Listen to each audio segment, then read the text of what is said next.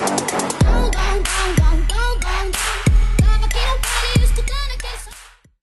is going on guys, my name is Trap and welcome to this tutorial how to create this, what you are getting, uh, what you're seeing right now. Um, so, this is how to do these cubes which are around the text in a helix and then they are exploding. And yeah, I'm going to show it to you. I made a tutorial first in English which was really weird and hard to understand and yeah. Then I made a German tutorial about this which was uh, way easier and someone asked me to do this in English too so I'm going to do this now. Okay, I'm going to delete this. Um, what you need to do, you click on MoGraph and then you take a clone and you take a cube or a ball or whatever you want. I'm gonna change this to 100 and make the edges round. Put this on 10 centimeter. This looks pretty pretty nice. So you drag the uh, yeah the cube into the clone and then you need helix. So you click here, some longer, and take the helix then. So then you change this um, the layer to Z uh, to Z Y, and um, you're gonna change the rotation end a bit up and the height so that this fits with the text like this and then you click on the clone and drag the helix oh wait you need to click on the clone first and go to mode, click on object, and the helix you're going to drag into this uh, field, and then it's quite it. Um, this is the first part. Uh, so this is just in a helix now, and you need to change up the last thing. You're going to the clone and go down a bit, and here's the end. You need to keyframe this. Uh, at first, you click on the end and make it to zero.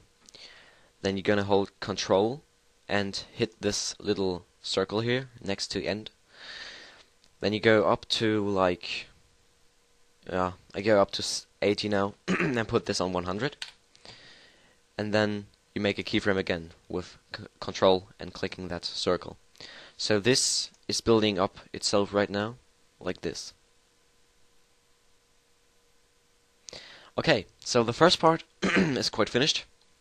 Um, this is it. So what we need to do now, we click on the clone, and uh, to like making ex explode, click on the clone, effector, random, and I'm gonna change this up so until it looks pretty nice.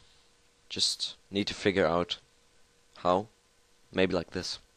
So, and if you like it, you click on uh, the effector and change it to zero and yeah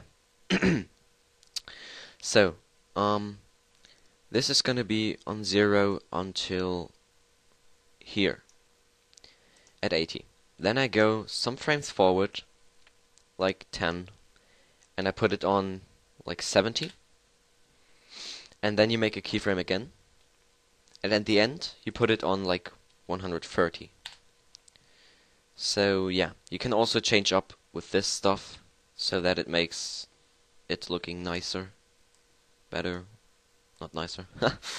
okay, um, maybe like this.